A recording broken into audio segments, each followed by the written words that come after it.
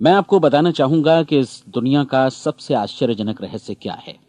इस बात को अभी बहुत लंबा समय नहीं गुजरा है कि महान चिकित्सक और नोबेल पुरस्कार विजेता अल्बर्ट स्विट्जर से लंदन में एक इंटरव्यू के दौरान किसी रिपोर्टर ने पूछा, डॉक्टर, आज आदमी के साथ सबसे गलत बात क्या है?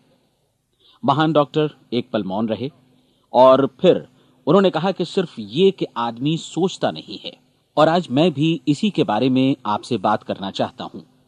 आज हम एक सुनहरे युग में रह रहे हैं। ये वो दौर है, जिसके लिए आदमी हज़ारों वर्षों से सपने देख रहा था और मेहनत कर रहा था। लेकिन जब आज ये दौर हमें उपलब्ध हो गया है तो हमने इसे प्रदत्त मान लिया है। यूँ ही उपहार में मिला हुआ। लेकिन इसके पीछे छिपे संघर्ष और मेहनत को हम भूल गए हैं। लेकिन क्या आपको मालूम है कि दरअसल होता क्या है? चलिए हम ऐसे सौ लोगों को लेते हैं, जिन्होंने 25 वर्ष की उम्र में अपने कैरियर की शुरुआत की। क्या आपको अनुमान है कि पैंसठ वर्ष की उम्र तक पहुँचते पहुँचते इनके साथ क्या होगा? 25 की उम्र में शुरुआत करते हुए इन सब का विश्वास है कि ये कामयाब होंगे। यदि आप इनमें से किसी से भी पूछें कि क्या आप कामयाब होना चाहते हैं तो वो कहेगा, निश्चित तौर पर। और आपने गौर भी किया होगा कि उसकी आँखों में जीवन के प्रति एक उत्सुकता, एक जिज्ञासा है। आँखों में खास तरह की चमक और हाव भाव में एक स्पष्ट दृढ़ता है और जीवन उसके सामने एक खूबसूरत, एक रोचक अभियान की तरह होगा। लेकिन पैंसठ वर्ष की उम्र आते आते जानते हैं क्या होगा? पैंसठ वर्ष की उम्र तक उनमें से एक अमीर बन गया होगा। चार आर्थिक रूप से आत्मनिर्भर हो चुके होंगे, इस उम्र में भी काम कर रहे होंगे और बाकी नब्बे टूट चुके होंगे। अब जरा एक पल सोचिए, सौ लोगों में से सिर्फ़ पाँच किसी स्तर तक पहुँच सके। इतने ज़्यादा नाकाम क्यों रहे? उस चमक, उस चिंगारी का क्या हुआ? जो 25 वर्ष की उम्र में उनके भीतर थी, वे सपने, वे उम्मीदें, वे योजनाएँ क्या हुई? आदमी जो करना चाहता है और जो कर पाता है, उसके बीच इतना बड़ा अंतर क्यों है? जब हम ये कहते हैं कि सिर्फ़ पाँच प्रतिशत ने सफलता हासिल की तो हमें सफलता को स्पष्ट भी करना होगा और यह है सफलता की परिभाषा। सफलता का अर्थ है किसी महान लक्ष्य को स्पष्ट निर्धारित कर उस दिशा में आगे बढ़ना। अगर एक आदमी पहले से निर्धारित लक्ष्य की दिशा में काम कर रहा है और जानता है कि वो कहाँ जा रहा है और कहाँ उसे जाना है तो वही आदमी सफल है। यदि वो ऐसा नहीं कर रहा है तो वो असफल है। यानी सफलता निर्धारित लक्ष्य को समझते हुए उस दिशा में आगे बढ़ना है। महान मनोवैज्ञानिक रोलो मे ने एक अद्भुत किताब लिखी है, मनुष्य की स्वयं की खोज। इस पुस्तक में उन्होंने कहा है हमारे समाज में साहस और हौसले की विपरीत चीज़ कायरता नहीं है, बल्कि यह है अनुरूपता। आज हमारे सामने जो सबसे बड़ी मुसीबत है, वो है अनुरूपता, यानी बिना सोचे समझे भीड़ के अनुरूप चलने की मन स्थिति अधिकांश लोग वैसा ही कर रहे हैं, जैसा दूसरे कर रहे हैं। ये जाने समझे बगैर कि क्यों? लगभग सात वर्ष की उम्र से हम पढ़ना शुरू कर देते हैं। पच्चीस के होते होते हम रोजी रोटी कमाना शुरू कर देते हैं, साथ ही परिवार की देखभाल भी। लेकिन पैंसठ वर्ष की उम्र का होने पर भी हम ये नहीं सीख पाते कि आर्थिक रूप से आत्मनिर्भर और निश्चिंत कैसे हुआ जाए। क्यों? इसलिए कि हम बस औरों की लीक पर चलते हैं। और मुश्किल यही है कि हम समाज के उस बड़े और गलत प्रतिशत का अनुकरण कर रहे हैं, यानी उन पंचानवे प्रतिशत का जो कामयाब नहीं हुए। अब सवाल यह है कि ये लोग, इतनी बड़ी संख्या में लोग, औरों की नकल क्यों करते हैं? इसका उत्तर वे भी नहीं जानते। इन लोगों का विश्वास है कि परिस्थितियों ने उनका जीवन एक सांचे में गढ़ दिया है। ऐसे लोग बाहर से बाहरी शक्तियों से निर्देशित होने वाले लोग हैं।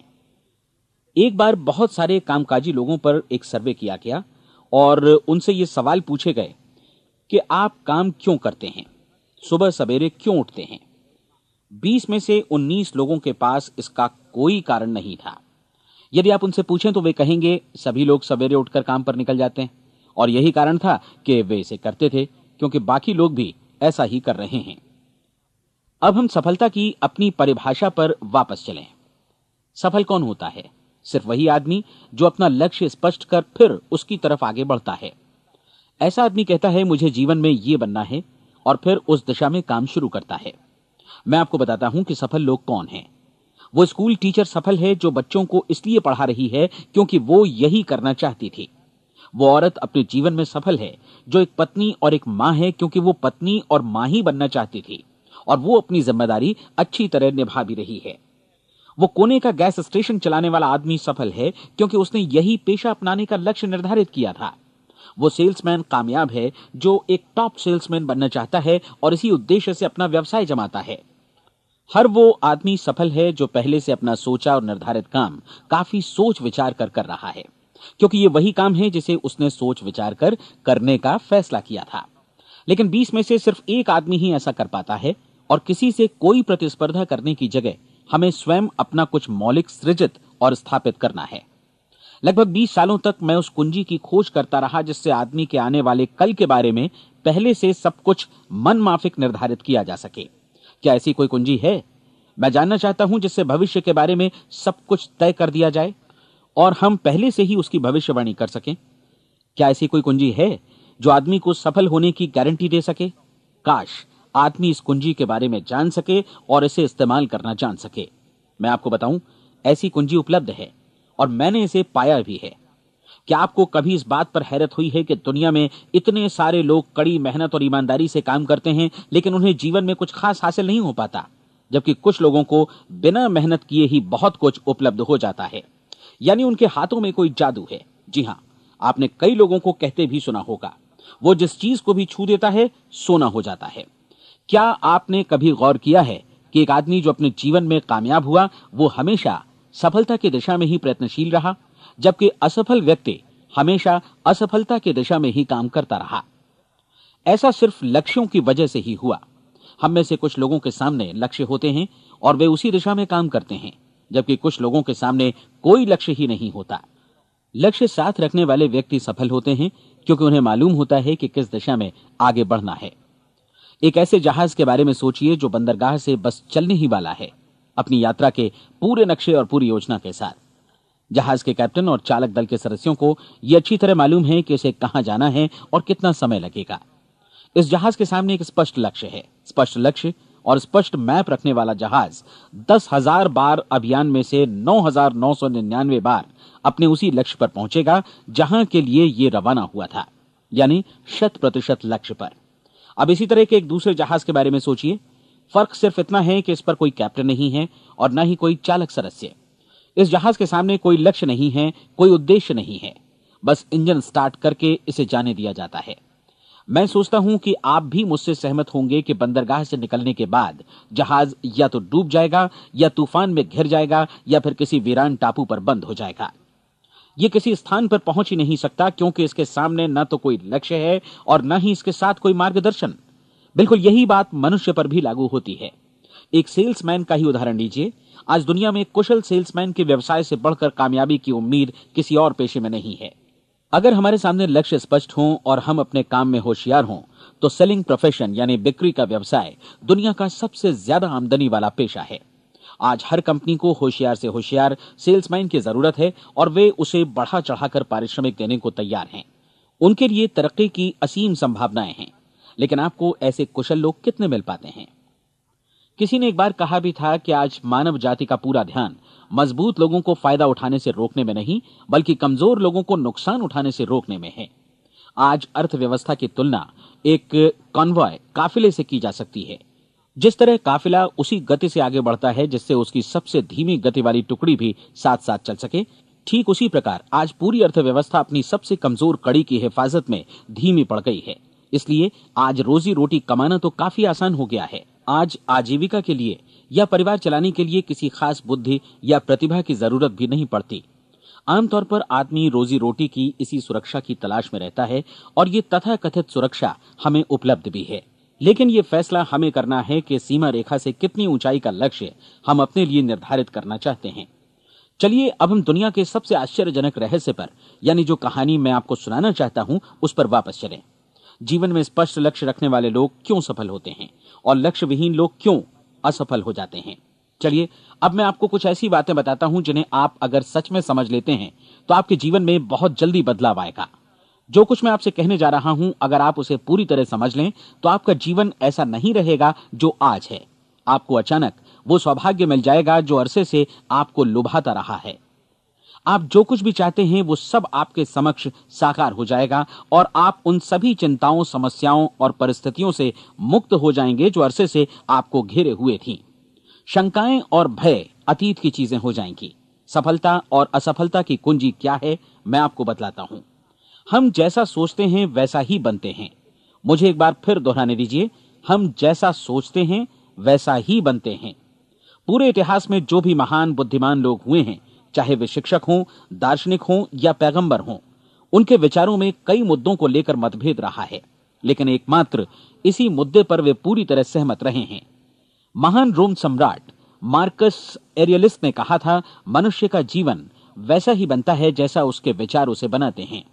डिजरेली ने इसी बात को इस प्रकार कहा है कि यदि मनुष्य चाहे और प्रतीक्षा करे तो हर चीज़ उसे हासिल हो सकती है। बहुत लंबे और गहन चिंतन मनन के बाद मैं इस नतीजे पर पहुँचा हूँ कि एक निश्चित लक्ष्य वाला मनुष्य हर हाल में इसे पूरा करता है और अगर दृढ़ इच्छा शक्ति हो तो इसकी राह में कोई अड़चन नहीं टिक सकती। राल्फ वॉल्डो एमरसन का कहना है कि एक आदमी वैसा ही बनता है जैसा वो पूरे दिन भर सोचता है। विलियम जेम्स ने कहा था, मेरी पीढ़ी की सबसे बड़ी खोज यही है कि मनुष्य अपनी सोच और अपने विचारों में परिवर्तन लाकर अपने जीवन को भी बदल सकता है। और उन्होंने ये भी कहा कि ज़रूरत सिर्फ़ इस बात की है कि हम अपने जीवन में वांछित चीज़ों को वास्तव में घटित हुआ मान लें। धीरे धीरे इस सोच का जीवन से ऐसा संपर्क स्थापित होता चला जाएगा कि वांछित चीज़ें वास्तव में यथार्थ बन, दरअसल हमारी सोच, हमारी आदतों और भावनाओं से इस कदर गुथ जाती हैं कि हमारा विश्वास साकार हो जाता है। विलियम जेम्स ने यह भी कहा था कि यदि आप किसी परिणाम विशेष के बारे में काफ़ी ज़्यादा सोचें तो आप निश्चित तौर पर उसे हासिल भी कर लेंगे। अगर आप अमीर बनने की इच्छा रखते हैं तो आप निश्चित तौर पर अमीर बन जाएँगे। यदि आप विद्वान बनना चाहते हैं तो विद्वान बनेंगे। इसी प्रकार यदि आप भला बनना चाहते हैं तो निश्चित तौर पर भले बन जाएँगे। आपको सिर्फ़ ये करना है कि वस्तु विशेष या लक्ष्य के लिए वास्तविक इच्छा शक्ति विकसित करें, और उस दौरान एकमात्र वही लक्ष्य आपके सामने हो। ऐसा न हो कि एक ही समय सैकड़ों अलग अलग चीज़ों पर आपका ध्यान भटके। आपको बाइबल का वो कथन याद होगा कि जो विश्वास करता है उसके लिए सब कुछ संभव है। डॉक्टर नॉर्मन विंसेंट पीएलए ने कहा है कि पूरी सृष्टि के महानतम नियमों में से ये एक है कि अगर आपकी सोच नकारात्मक हो तो नकारात्मक परिणाम ही आपके सामने आएँगे। और यदि आप सकारात्मक सोचें तो जो भी आप करेंगे, उसका नतीजा भी सकारात्मक होगा। ये एक साधारण सी वास्तविकता है जो समृद्धि और सफलता के इस आश्चर्यजनक नियम का आधार है। केवल चार शब्दों में कहा जाए तो विश्वास करो, सफलता पाओ। विलियम शेक्सपियर ने इसे इस तरह कहा है कि हमारी शंकाएँ इतनी विश्वासघातनी हैं कि वे हमें कोशिश करने से भी भयभीत कर देती हैं और हम उन सभी मोर्चों पर हार जाते हैं जहाँ हम जीत सकते थे। जॉर्ज बर्नार्ड शॉ का कहना है कि लोग अपनी हालत के लिए हमेशा अपनी परिस्थितियों को दोष देते हैं, लेकिन मैं परिस्थितियों में विश्वास नहीं करता। इस दुनिया में कामयाबी हासिल करने वाले लोग वे लोग हैं जिन्होंने काम की शुरुआत की और अपनी मनचाही परिस्थितियाँ खुद बनाई। ये वास्तविकता कितनी सुखद है है ना? और जिस किसी ने भी इस पर विश्वास किया है, उसने सफलता हासिल की है। हम वही बनते हैं जिसके बारे में हम सोचते हैं। इसलिए अगर हम किसी ठोस और सार्थक लक्ष्य के बारे में सोचें तो हम ज़रूर इसे हासिल भी कर लेंगे। दूसरी ओर वो आदमी जिसके सामने कोई लक्ष्य नहीं है, जिसे नहीं मालूम कि उसे कहाँ जाना है, और जो इसी वजह से संशय, भय, चिंता और परेशानियों में घिरा है वो वैसा ही हो जाएगा जैसा कि वो सोच रहा है। और अगर ऐसा है कि वो किसी भी चीज़ के बारे में नहीं सोच रहा है तो वो आदमी कुछ भी नहीं बन पाएगा। आइए, अब ये समझें कि ये सारा कुछ कैसे काम करता है। क्यों हम वैसा ही बन जाते हैं जैसा कि हम सोचते हैं? मैं आपको बताता हूँ कि ये सारा कुछ क्यों और कैसे होता है। कल्पना कीजिए कि किसान के पास थोड़ी ज़मीन है। ज़मीन बड़ी अच्छी और उपजाऊ है। ज़मीन में क्या बोया जाए ये फैसला पूरी तरह किसान का है। वो जो चाहे बोए। ज़मीन को इससे कोई मतलब नहीं है। ये ध्यान दीजिए कि मनुष्य का मन भी ज़मीन के ही समान है। बल्कि हम मानव मन की तुलना में ही ज़मीन का उदाहरण दे रहे हैं। ज़मीन की ही तरह मन को भी इस बात से कोई मतलब नहीं है कि आप उसमें कैसे विचार बोते हैं। बस जो कुछ भी इसमें बोया जाएगा, वो उसी की फ़सल आपको वापस लौटाएगा। यही वास्तविकता लागू होती है सकारात्मक और नकारात्मक विचारों के साथ। यदि आप सकारात्मक विचार बोएँगे तो कामयाबी की फ़सल काटेंगे और यदि नकारात्मक विचार बोएँगे तो नाकामी ही हाथ लगेगी। कल्पना कीजिए कि उस किसान के हाथ में दो तरह के बीज हैं, एक तो किसी अनाज का और दूसरा किसी जहरीले पौधे का। किसान ज़मीन में दो स्थानों पर दोनों बीजों को बो देता है, वो उन स्थानों पर पानी देता है और उनकी देखभाल करता है। अब ज़मीन जो कुछ बोया गया है, उसे वापस लौटाती है, दोनों पौधे उगते हैं, एक अन्न का और दूसरा जहरीला। बाइबल में कहा भी गया है, आप जैसा बोएँगे, वैसा ही काटेंगे। याद रखिए कि ज़मीन को इस बात से मतलब नहीं है कि वो अन्न लौटा रही है या जहर। अब मानव मस्तिष्क ज़मीन से कहीं ज़्यादा भरोसेमंद है, कहीं ज़्यादा उर्वर और कहीं ज़्यादा चमत्कारी। लेकिन ये ज़मीन के सिद्धांत पर ही काम करता है। ये भी इस बात की चिंता नहीं करता कि हम इसमें क्या बो रहे हैं। बस जो कुछ बोया जाएगा, उसे ही इसे वापस लौटाना है। चाहे वो सफलता हो, असफलता हो, एक निश्चित स्पष्ट लक्ष्य हो या असमंजस की स्थिति। गलतफहमी हो, भय हो या चिंता हो, कुछ भी हो, बस जो भी हम इसमें डालेंगे वही ये हमें वापस लौटाएगा। आपको मालूम है कि मानव मस्तिष्क आज इस धरती पर एकमात्र अंतिम महादेश है, जिसका आज तक अन्वेषण नहीं हुआ है। इसमें हमारी कल्पना से भी परे सुख समृद्धि भरी पड़ी है। यदि हम सकारात्मक विचार डालें तो यह भारी सफलता और सुख समृद्धि हमें वापस लौटाएगा। आप कह सकते हैं कि यदि ये सही है तो लोग अपने मस्तिष्क का अधिक इस्तेमाल क्यों नहीं करते? लोगों के पास इसका भी जवाब है। हमारा मस्तिष्क एक उन्नत यंत्र के रूप में हमें जन्म से ही मिला हुआ है। निःशुल्क मुफ़्त। और जो चीज़ें हमें मुफ़्त मिलती हैं, उनको हम बहुत कम महत्व देते हैं। महत्व देते हैं उन चीज़ों को जो पैसे से आती हैं। जबकि हकीकत में इसकी विपरीत बात ही सही होती है। आज जो भी चीज़ें हमारे जीवन में वास्तव में महत्वपूर्ण हैं, वे हमें निःशुल्क उपलब्ध हैं। हमारा मस्तिष्क, हमारी आत्मा, हमारा शरीर, हमारी आशाएँ, हमारे सपने, हमारी आकांक्षाएँ, हमारी बुद्धि, परिवार, बच्चों और दोस्तों का प्रेम, यहाँ तक कि प्रकृति का उपहार, हवा, धूप और पानी भी। ये सभी अनमोल चीज़ें हमें निःशुल्क मिली हुई हैं, और जिन चीज़ों के लिए हम पैसे खर्चते हैं, वे इनके मुकाबले काफ़ी हल्की हैं, स्तरहीन, और उन्हें किसी भी चीज़ से बदला जा सकता है, लेकिन प्रकृति की ओर से निःशुल्क मिली चीज़ें कभी बदली नहीं जा सकती। और दूसरी बात यह कि मानव मन की शक्तियों का भरपूर उपयोग नहीं हुआ है। मन इतना शक्तिशाली है कि इसे जो भी काम सौंपा जाए कर सकता है। लेकिन आमतौर पर हम बड़े और महत्वपूर्ण कामों के बदले छोटे मोटे कामों के लिए ही इसका इस्तेमाल करते हैं। कई विश्वविद्यालयों ने यह साबित कर दिया है कि हम में से अधिकांश लोग अपनी क्षमता का 10 प्रतिशत ही इस्तेमाल करते हैं। हमारी शेष क्षमता यूँ ही अनछुई रह जाती है। अब आप फैसला कीजिए कि आपको क्या करना है। अपना लक्ष्य अपने मस्तिष्क रूपी ज़मीन में बो दीजिए। यह आपके पूरे जीवन का सबसे महत्वपूर्ण फैसला है। आप एक बेहद कामयाब सेल्समैन बनना चाहते हैं। कंपनी के कुशल और सक्रिय कर्मचारी के रूप में जगह जगह जाना चाहते हैं। आपको सिर्फ़ ये करना है कि इस लक्ष्य रूपी बीज का रोपण अपने दिलो दिमाग में कर लें। जतन से एकाग्र चित्त होकर इसकी देखभाल करें। लक्ष्य की दिशा में आगे बढ़ें, कार्यशील रहें। और एक दिन आपका सपना हकीकत में बदल जाएगा। कोई सवाल ही नहीं है कि ऐसा ना हो। आप समझ लीजिए कि ये प्रकृति के अन्य नियमों की तरह एक नियम है, जैसा सर आइजक न्यूटन का गुरुत्वाकर्षण का नियम है कि यदि आप किसी इमारत की छत से छलांग लगा दें तो आप नीचे ही आएँगे, ऊपर नहीं जा सकते। प्रकृति के सभी नियम हमेशा सही होते हैं, हमेशा काम करते हैं। आप भी बिल्कुल सकारात्मक दिशा में अपने लक्ष्य के बारे में सोचिए। हमेशा जागी आँखों से सपना देखिए कि आपने अपना लक्ष्य हासिल कर दिया है। उन कामों के बारे में सोचिए और खुद को उन्हें करता हुआ भी देखिए जो लक्ष्य तक पहुँचने के बाद आपको करने हैं। आज हमारे समय के दौर को यदि औषधियों का युग या अल्सर और नर्वस ब्रेकडाउन का युग कहा जाए तो गलत नहीं होगा। आज जब चिकित्सा विज्ञान ने स्वास्थ्य और लंबी उम्र पाने की दिशा में इतनी कामयाबी हासिल कर ली है, लेकिन इसके बावजूद लोग समस्याओं से जूझने में तनावग्रस्त हो रहे हैं और खुद को असामयिक मौत की तरफ़ धकेल रहे हैं। ऐसा इसलिए हो रहा है क्योंकि उन्होंने महान प्राकृतिक नियमों को अपनाना नहीं सीखा जो हमारे लिए बेहद कारगर और लाभकारी हैं। कृपया अब साइड बी सुनिए।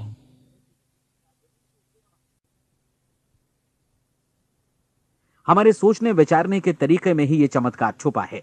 दरअसल हर व्यक्ति अपनी समस्त सोच का ही योगफल होता है। वो स्वीकार करे या न करे लेकिन वो आज जहाँ जिस स्थिति में भी है वो उसकी अपनी सोच का ही नतीजा है। हम में से हरेक को भविष्य में भी अपनी आज की सोच का ही प्रतिफल मिलने वाला है। क्योंकि आज, कल या अगले महीने या अगले वर्ष, हमारी सोच की जो दिशा रहेगी, उसी से हमारा भविष्य या हमारा जीवन निर्धारित होगा। आपका मन मस्तिष्क ही आपके संपूर्ण व्यक्तित्व और जीवन को निर्देशित करता है। मुझे याद है, एक बार मैं कहीं जा रहा था, रास्ते में सड़क किनारे, मैंने एक भारी भरकम मशीन को भीषण आवाज़ के साथ काम करते देखा। मशीन एक बार में करीब 20 टन मिट्टी उठा रही थी और एक छोटा सा आदमी पहिया हाथों में थामे मशीन को निर्देशित कर रहा था। एकदम से मुझे लगा कि इस मशीन की तुलना मानव मस्तिष्क से की जा सकती है और विशाल ऊर्जा के स्रोत इस मस्तिष्क रूपी मशीन का नियंत्रण हमारे अपने हाथों में है। क्या आप हाथ पर हाथ धरे बैठे रहेंगे और इस शक्तिशाली मशीन को इसी के भरोसे छोड़कर किसी खड्ड में गिर जाने देंगे? या आप दोनों हाथ मजबूती से इसके व्हील पर जमाए रखेंगे और इसकी ताकत किसी खास उद्देश्य के लिए लगाएँगे। ये दोनों विकल्प आपके ऊपर हैं, क्योंकि आप ड्राइविंग सीट पर बैठे हैं और मशीन का नियंत्रण आपके हाथों में है। अब देखा ना आपने कि हमें सफलता प्रदान करने वाला नियम भी एक दो धारी तलवार की तरह है। हमें अपनी सोच, अपने विचारों पर नियंत्रण रखना चाहिए। विचारों का यह नियम जहाँ एक और आदमी को सफलता, सुख और समृद्धि की ओर ले जाता है, उसे जीवन में वे खुशियाँ उपलब्ध कराता है, जिनका उसने अपने और अपने परिवार के लिए कभी सपना देखा था, वहीं दूसरी ओर यही नियम उसे गटर में भी धकेल सकता है। सब कुछ इस बात पर निर्भर करता है कि मनुष्य किस तरह इस नियम का इस्तेमाल करता है। यही है दुनिया का सबसे आश्चर्यजनक रहस्य। अब सवाल यह है कि मैं इसे आश्चर्यजनक क्यों कहूँ और रहस्य भी क्यों कहूँ? वास्तव में यह कोई रहस्य तो बिल्कुल नहीं है। पहले पहल किसी बुद्धिमान व्यक्ति ने इस प्राकृतिक नियम की सच्चाई प्रमाणित की थी और बाद में पूरी बाइबल में बार बार इसका ज़िक्र हुआ है। लेकिन बहुत थोड़े लोगों ने इसे समझा और सीखा है। यही कारण है कि ये लोगों के लिए आश्चर्यजनक है और इसी वजह से ये रहस्य भी बना रहा है। मेरा विश्वास है कि यदि आप अपने शहर की गलियों में जाएँ और एक एक कर हर व्यक्ति से पूछें कि सफलता का रहस्य क्या है तो आपको महीने भर की कोशिश के बाद ऐसा एक भी आदमी नहीं मिलेगा जो आपको ये बता सके। आज जो कुछ हमने जाना है, वो हमारे लिए वास्तव में अत्यंत मूल्यवान है। यदि हम इसे समझकर इसे जीवन में लागू भी कर सकें। ये न सिर्फ़ हमारे लिए, बल्कि हमसे जुड़े और हमारे आसपास के हर व्यक्ति के लिए महत्वपूर्ण है। जीवन को नीरस और उबाऊ नहीं, बल्कि एक उत्तेजनापूर्ण अभियान होना चाहिए। आदमी को अपनी ज़िंदगी पूरी ज़िंदा दली से भरपूर जीनी चाहिए, उसे सुबह सवेरे नींद टूटने पर खुश होना चाहिए, उसे अपना मनपसंद व्यवसाय करना चाहिए, क्योंकि वो इसे बेहतर ढंग से करता है। एक बार मैंने एक दैनिक के संपादक का व्याख्यान सुना था। उन्होंने अंत में जो कुछ कहा उसे मैं कभी भुला नहीं पाया। उन्होंने कुछ इस तरह कहा था कि अपने व्यवसाय में मैंने कई बातें जानी। एक तो ये कि लोग मूल रूप से भले होते हैं और ये भी कि हम सभी कहीं से आए हैं और हमें कहीं जाना है। इसलिए इस धरती पर बीच का समय हमें एक रोमांचक अभियान की तरह बिताना है। सृष्टि के रचयिता ने कहीं पहुँचने के लिए कोई सीढ़ी नहीं बनाई है। लेकिन उस महान शिक्षक ने, उस रचयिता ने समय समय पर इस रहस्य का उद्घाटन किया है कि तुम जैसा विश्वास करोगे, वो तुम्हारे समक्ष सत्य बनकर अवतरित होगा। मैं आपको परीक्षा का एक मौका देना चाहता हूँ। यह परीक्षा तीस दिनों तक चलेगी। यदि आपने अच्छी परीक्षा दी तो ये आपके जीवन को बेहतर से बेहतर रूप में पूरी तरह बदल देगी। सत्रहवीं शताब्दी में वापस लौटें, जब महान वैज्ञानिक सर आइजक न्यूटन ने हमें भौतिकी के कुछ नियम बतलाए थे। जो मनुष्य पर भी उतनी ही सच्चाई से लागू होते हैं, जितनी की सृष्टि की अन्य वस्तुओं पर। इन नियमों में से एक है कि प्रत्येक क्रिया की बिल्कुल समान और विपरीत प्रतिक्रिया होती है। यदि हम अपने आप पर इसे लागू करें तो इसका मतलब है कि हम मूल्य चुकाए बिना कुछ भी हासिल नहीं कर सकते। तीस दिनों के आपके प्रयोग का नतीजा बिल्कुल उसी अनुपात में होगा, जिस अनुपात में आपने प्रयास किया होगा। एक डॉक्टर बनने के लिए आपको कई वर्षों तक कठिन परिश्रम और अध्ययन करने का मूल्य चुकाना होगा। उसी तरह औरों को समझाने या सहमत कराने में या बिक्री के व्यवसाय में भी हमारी सफलता इस बात पर निर्भर करेगी कि चीज़ों को बेच सकने की या विचारों को दूसरों तक पहुँचाने की या स्वीकृत कराने की भी हमारी क्षमता कितनी है। लेकिन औरों को बेहतर जीवन पाने का तरीका समझाने में हमारी सफलता इस बात पर निर्भर करती है कि हम अपने प्रयास में कितना मूल्य चुकाते हैं और हमें यह मूल्य चुकाने को तैयार भी रहना चाहिए। अब सवाल है कि यह मूल्य है क्या? इसमें कई बातें हैं। पहली तो ये कि हमें बौद्धिक रूप से और भावनात्मक रूप से ये समझ लेना चाहिए कि हम जैसा सोचते हैं, बिल्कुल वैसा ही बनते भी हैं। इसलिए अपने जीवन को नियंत्रित करने के लिए हमें अपने विचारों को नियंत्रित करना होगा। यानी हमें अच्छी तरह समझ लेना होगा कि जैसा हम बोएँगे, वैसा ही काटेंगे। दूसरी बात, हमें अपने मन से सभी अड़चनों और बेड़ियों को काट फेंकना होगा। और ये सोचकर काम को अधिकतम आगे बढ़ाना होगा कि यही काम हमारे लिए दैवीय रूप से निर्धारित है। यानी ये समझना होगा कि सभी सीमा रेखाएँ हमारी खुद की बनाई हुई हैं और हमारे सामने कल्पना से भी बढ़कर अवसर मौजूद हैं। अर्थात हमें तमाम संकीर्णताओं से और पूर्वाग्रहों से ऊपर उठना होगा। तीसरी बात, अपनी समस्या पर सकारात्मक रूप से सोचने के लिए खुद को प्रेरित करने में पूरी क्षमता और साहस का इस्तेमाल करना होगा। और साथ ही अपने लिए एक निश्चित और स्पष्ट लक्ष्य निर्धारित करने के लिए भी। अपने मस्तिष्क को लक्ष्य के बारे में सभी संभव कोणों से विचार करने का अवसर देना होगा। अपनी कल्पना को खुली छूट देनी होगी कि वो हर संभावित समाधान की परख कर सके। यह विश्वास करने से इनकार करना होगा कि लक्ष्य प्राप्ति के मार्ग में कभी कोई परिस्थिति आपको हरा भी सकती है। जब आपको लक्ष्य की ओर ले जाने वाला मार्ग स्पष्ट दिखे तो बिल्कुल तत्परता से फैसला लेते हुए काम करना होगा। और अपने आप को लगातार इस तथ्य से अवगत कराते रहना होगा कि आप अपनी उपलब्धियों के क्षेत्र के बीचों बीच खड़े हैं। और चौथी बात कि आप जो कुछ भी कमाएँ, उसका 10 प्रतिशत निश्चित रूप से बचाएँ। यह हमेशा याद रखें कि आपका व्यवसाय चाहे जैसा भी है, यदि आप मूल्य चुकाने को तैयार हैं तो उसमें अनंत संभावनाएँ भरी पड़ी हैं। आइए हम उन महत्वपूर्ण बिंदुओं को दोहरा लें, जो एक खूबसूरत जीवन बिताने के मूल्य के तौर पर हमें चुकाना है। पहला हम वैसा ही बनेंगे जैसा हम सोचते हैं। दूसरा, कल्पना शब्द का महत्व समझें और अपने मस्तिष्क को ऊँची उड़ान भरने दें। तीसरी बात, साहस। हर दिन अपने लक्ष्य पर एकाग्र चित्त हों और चौथी बात, जो भी कमाएँ, उसका दस प्रतिशत बचाएँ। साथ ही ये भी याद रखें कि कोई भी विचार तब तक व्यर्थ है जब तक हम उसे कार्यान्वित नहीं करते हैं। और अब मैं तीस दिनों के परीक्षण को समझाने की कोशिश करूँगा। अपने दिमाग में यह स्पष्ट कर लें कि इस परीक्षण में आप कुछ भी खोने नहीं जा रहे हैं, बल्कि मुमकिन है कि आप सब कुछ पा सकते हैं। दो बातें हम सब पर लागू होती हैं। हम सब कुछ न कुछ चाहते हैं, और हम सब किसी न किसी चीज़ से भयभीत रहते हैं। मैं चाहूँगा कि आप एक कार्ड पर लिखें कि वो क्या चीज़ है जिसे आप सबसे ज़्यादा चाहते हैं। हो सकता है कि ये रुपया पैसा हो। आप अपनी आमदनी दोगुनी करना चाहते हो, या एक खास परिमाण में रुपया कमाना चाहते हो। हो सकता है कि आप एक खूबसूरत मकान चाहते हो, या अपने व्यवसाय में कामयाबी चाहते हो। या फिर जीवन में एक खास मकाम की तमन्ना हो आपको, या फिर परिवार में ज़्यादा तालमेल और एकता की अभिलाषा हो, हम सब कुछ न कुछ की तमन्ना ज़रूर रखते हैं। आप अपने कार्ड पर स्पष्ट लिखिए कि आपकी कामना क्या है। यह निश्चित कर लीजिए कि यही आपका एकमात्र और स्पष्ट लक्ष्य है।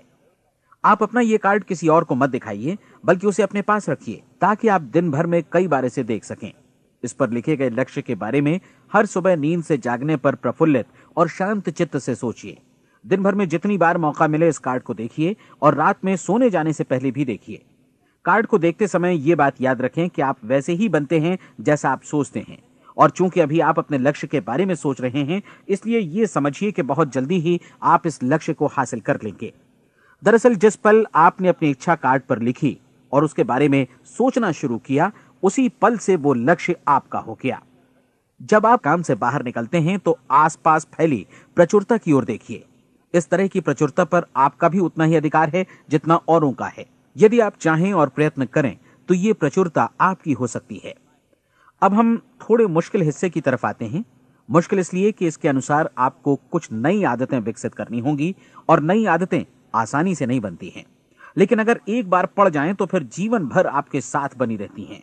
जिस चीज़ से भी आपको भय लगता हो, उसके बारे में सोचना बंद कर दीजिए।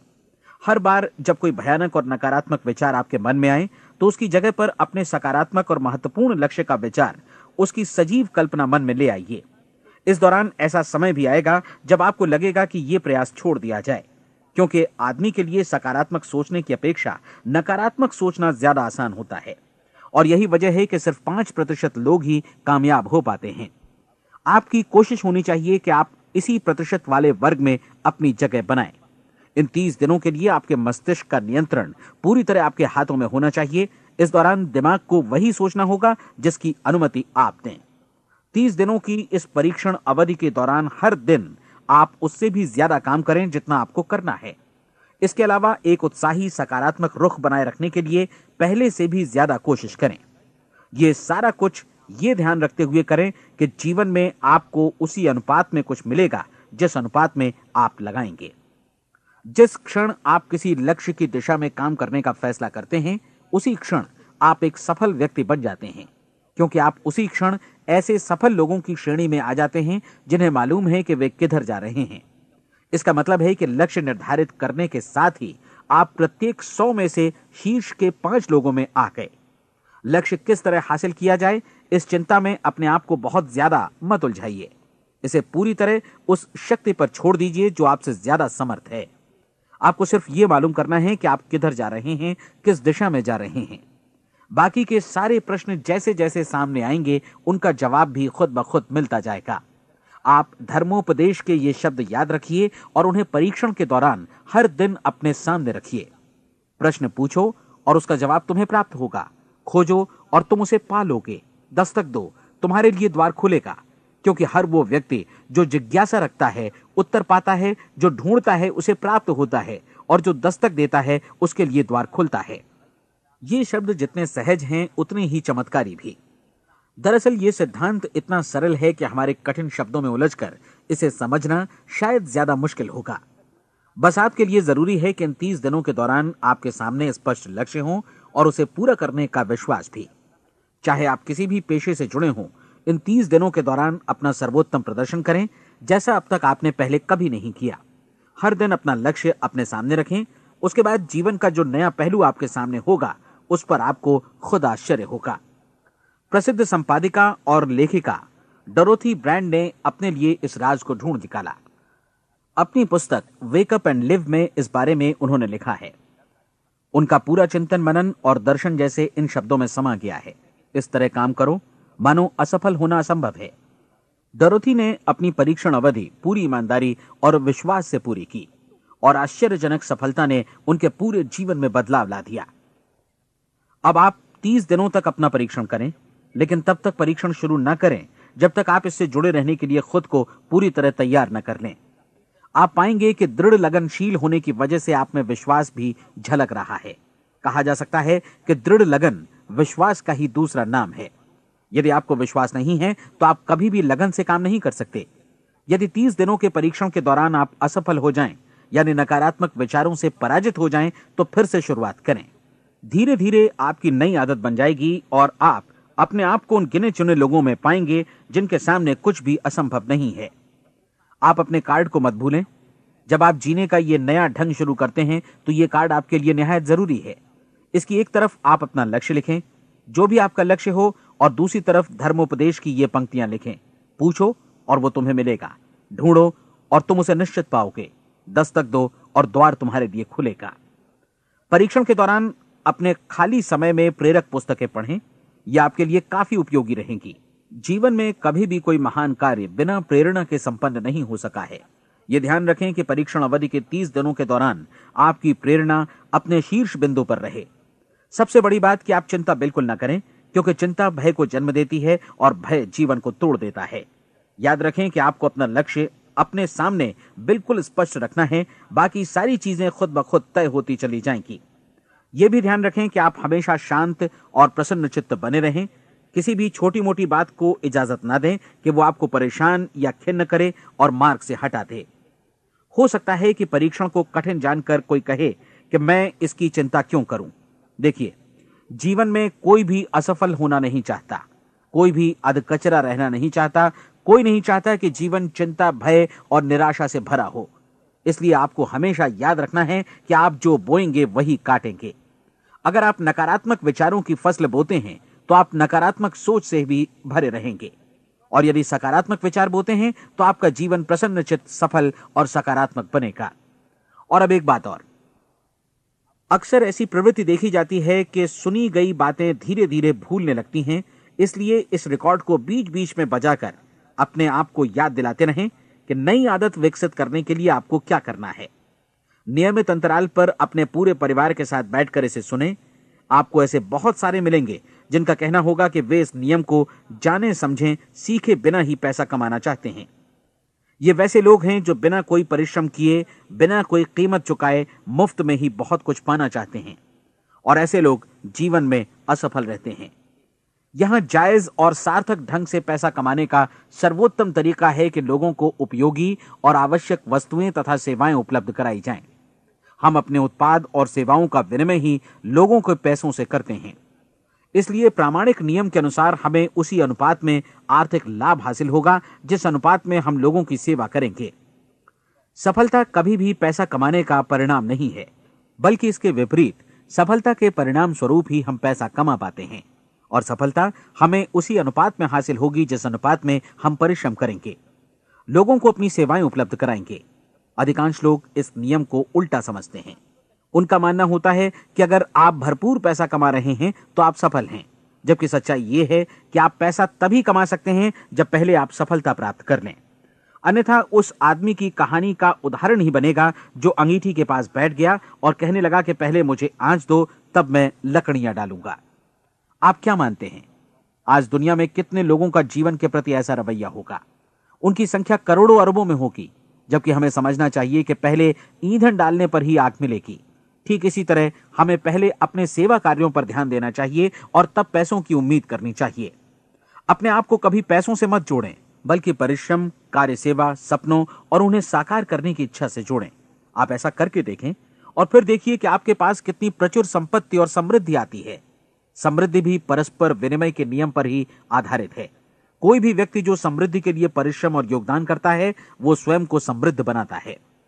कभी कभी ऐसा हो सकता है कि परिणाम आपको उन लोगों से न मिले जिनकी आप सेवा कर रहे हैं, बल्कि किसी और जगह से मिले, क्योंकि ऐसा नियम है, प्रत्येक क्रिया की समान और विपरीत प्रतिक्रिया होती है। तीस दिन की परीक्षण अवधि से एक एक दिन करके गुजरते हुए हमेशा ध्यान में रखिए कि आपकी सफलता हमेशा उस सेवा के परिमाण और गुणवत्ता से मापी जाएगी जो आपने लोगों को उपलब्ध कराई है, और पैसा सिर्फ़ इस सेवा को मापने का एक पैमाना है। कोई भी व्यक्ति तब तक समृद्ध नहीं बन सकता जब तक वो औरों को समृद्ध न करे। इस नियम में कोई अपवाद नहीं है। एक बार यदि यह नियम अच्छी तरह समझ लिया जाए तो कोई भी विचारवान व्यक्ति अपना भाग्य स्वयं बतला सकता है। यदि वो और अधिक चाहता है तो उसे लोगों को और अधिक सेवा उपलब्ध करानी होगी। और यदि वो और कम की चाहत रखता है तो उसे सेवा के परिमाण में भी कमी करनी होगी। यही वो मूल्य है जिसे आपको अपनी इच्छा और जरूरतों के लिए चुकाना होगा। यदि आप सोचते हैं कि आप औरों को दरकिनार कर स्वयं को समृद्ध कर लेंगे तो यह आपकी भूल है। इससे आप स्वयं को ही दरकिनार कर लेंगे। ये बिल्कुल सांस लेने और छोड़ने की तरह जैसा सच है कि आप जितना कुछ देंगे, उतना ही आपको वापस मिलेगा। आप इस नियम को पलट सकते हैं। ऐसा कभी भूल कर भी मत सोचिएगा, क्योंकि यह असंभव है। एक जाने माने मनोचिकित्सक ने सफलता पाने के लिए छह सूत्री उपाय बताए हैं। पहला, एक निश्चित लक्ष्य निर्धारित करें। दूसरा, अपने को कम आंकने वाली नकारात्मक सोच को त्याग दें। तीसरा, उन सभी कारणों पर विचार करना बंद कर दें, जो आशंका जतलाते हैं कि आप सफल नहीं हो सकते। इसके स्थान पर उन कारणों के बारे में सोचें, जो आपको सफल होने का विश्वास दिलाते हैं। अगर नकारात्मक विचार ही आप पर हावी हैं तो अपने बचपन के दिनों तक पीछे लौटकर उन कारणों को ढूंढ निकालने की कोशिश करें, जिनकी वजह से पहले पहल ये बात आपके मन में बैठ गई कि आप सफल नहीं हो सकते। किसी ऐसे व्यक्ति का वर्णन लिखकर जिसे आप आदर्श रूप में अपनाना चाहते हैं, अपने विषय में अपनी धारणा को बदलें। आपने जिस आदर्श सफल व्यक्ति का अनुसरण करने का फैसला किया है, उसकी जगह पर स्वयं को रखकर सोचें और उसका अभिनय करें। मानव सभ्यता के ज्ञात इतिहास की शुरुआत से ही विशेषज्ञ लोगों ने जो कुछ कहा है, उसको अपनाने की कोशिश करें। आप जैसा बनना चाहते हैं, वैसा बनने की कीमत चुकाएँ। यह काम निश्चित रूप से उतना मुश्किल नहीं है जितना कि एक असफल, नाकाम व्यक्ति के रूप में जीवन जीना। तीस दिनों का परीक्षण पूरा करें, इसे दोहराएँ और फिर दोहराएँ। हर बार ये आदतें आपके भीतर आत्मसात होती जाएँगी, ज़्यादा से ज़्यादा। और एक दिन ऐसा भी आएगा जब आप आश्चर्य करेंगे कि आप किसी और ढंग से कैसे जीवन व्यतीत कर रहे थे। इस नए ढंग से जीवन जिए और प्रचुरता का द्वार आपके समक्ष खुल जाएगा और चारों ओर से सुख समृद्धि की ऐसी वर्षा होगी जिसके बारे में कभी आपने सपने में भी नहीं सोचा होगा। पैसा भरपूर मिलेगा, लेकिन इससे भी ज़्यादा महत्वपूर्ण है कि आपको शांति मिले। और ये नियम अपनाकर आप उन गिने चुने लोगों में शामिल हो जाएँगे जो शांत, आनंदपूर्ण और सफल जीवन व्यतीत कर रहे हैं। आज से ही आरंभ कीजिए। याद रखिए, खोने के लिए आपके पास कुछ नहीं है, जबकि पाने के लिए एक बिल्कुल नया जीवन आपके सम्मुख है।